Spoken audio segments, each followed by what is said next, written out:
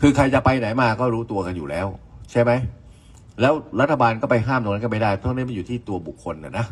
แล้ววันนี้ผมคิดว่ามันก็มีบทเรียนพอสมควรแล้วล่ะนะก็หยุดกันทันทีนะนะ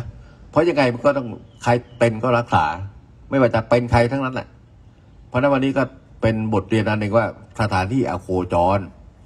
เข้าใจไหมเข้าใจไหมเออ ก็ไม่ไปไม่ควรไป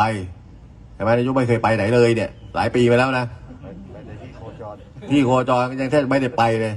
สิบกว่าปีไม่เคยออกจากบ้านไปไหนเลยเนี่ย ไม่เคยไปแหมไอตอนหนุ่มๆมันคนละเรื่องมั้ง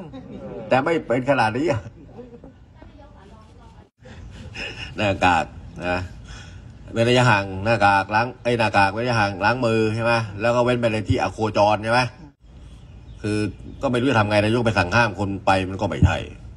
มันก็มีอย่างเดียวก็ต้องปิดสถานบริการ ถูกไหมล่ะ วันนี้ก็ มีแผนปิดอยู่แล้วทั้งหมดอะ วันนี้ร้อยสิบร้อยเก้าสิบกว่าแห่งก็ปิดไปแล้ว เดือนสี่สิบเอ็ดจังหวัดก็จะปิดตามไปอีก แล้วใครเดือดร้อนอะ เตรียมโอนมาขอความช่วยเหลือจากรัฐอีก นี่ไง มันต้องรู้กันทั้งหมดนะ โทษไปโทษกันมา มันไม่เกิดประโยชน์อะไรทั้งสิ้นนะ เดี๋ยวคนรวยติดคนจนผิด เราไปแบ่งแยกคนได้อย่างไรเรานะคนทุกคนคือคนไทยไม่ใช่หรือ เราต้องทำงานเพื่อคนไทยใช่ไหมนายกเข้ามาเพราะอย่างนี้นี่แหละนะ มันต้องให้ทำให้เกิดความเป็นธรรม แล้ววันหน้าก็จะมีการกระจายวัคซีนที่เข้ามาจำนวนมากเนี่ยไปเพิ่มเติม